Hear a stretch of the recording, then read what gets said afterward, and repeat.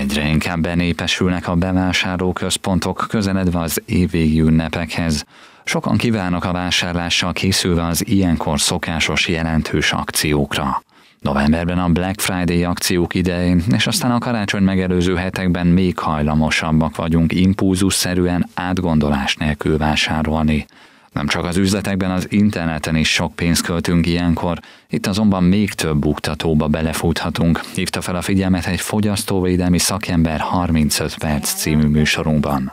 A leggyakoribb, hogy nem nézünk utána pontosan ki az eladó. Ebből nagyon sok probléma lehet, mert sokszor annyira nem derül ki az oldalból, hogy ki az eladó, hogy, hogy egyáltalán nem is lehet azonosítani. Most, ha nem lehet azonosítani, hogy ki az eladó, akkor reklamációt sem tudunk hozzá küldeni, hiszen nem tudjuk, kinek kell címezni, hol elérhető. De ami még rosszabb, hogyha jogi lépéseket szeretnénk tenni, polgári jogi lépéseket, vagy hatósági bejelentéssel élnénk, akár a fogyasztóvédelemnél, gazdasági versenyhivatalnál, azt a fogyasztóként nem tudjuk megtenni, hiszen nem tudunk mondani egy cégnevet, vagy egy székhely címet, ahol ezzel indulhatna ez az eljárás. Nem ritka a fiktív árkedvezmény, amikor valójában nem is engedményes az adott termékára, az akció kezdete előtt ugyanis azt felemelték. A szakember szerint ennek kivédésére jók a különféle árösszehasonlító oldalak, amelyeket érdemes már jóval a tervezett vásárlás előtt figyelni. Karácsony előtt évről évre sokan vesznek fel hitelt, elsősorban nagy háztartási gépek vásárlásához.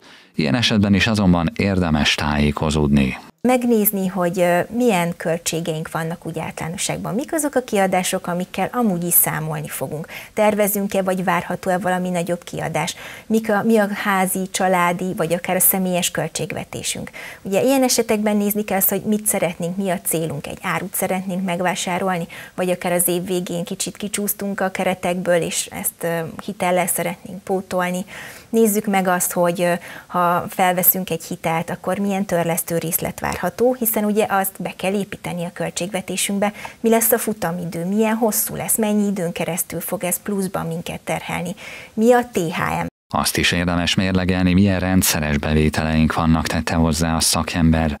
Mivel egyre nehezebb igazodni a sok ajánlat között, nem csoda, ha időnként rossz döntést hozunk. Sokan ugyanakkor ezt nehezen vállalják fel, ezért nem mernek utólag segítséget kérni. Pedig ma már több szervezet segít tanácsokkal a fogyasztóknak, hogyan tudják elkerülni a buktatókat, vagy mi a teendőjük, ha már belefutottak azokba.